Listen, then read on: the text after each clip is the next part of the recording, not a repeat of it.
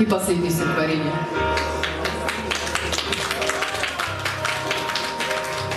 Предисловие великолепный Шар Бадлер. Тебе. Моя весна была зловещим ураганом, пронзенным кое-где сверкающим лучом.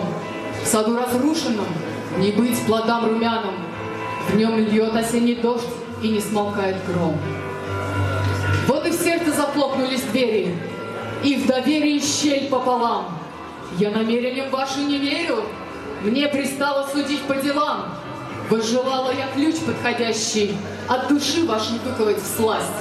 В дамбу влился поток нисходящий, Не по вам моя девичья масть.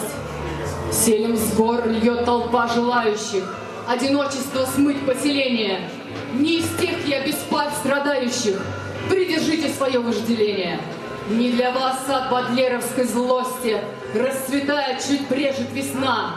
На тщеславие ярмарки гости Напоили меня до красна. Как утопленник в омуте лести, Днем с огнем не сыскавши дна, На поверхность всплываю по чести, Из руки не разжавши сна. Камнем в гору сближаете версты, Сдался вам все сизифов труд, Наша страсть, что иглой в наверстах, Домострой из обломков рук.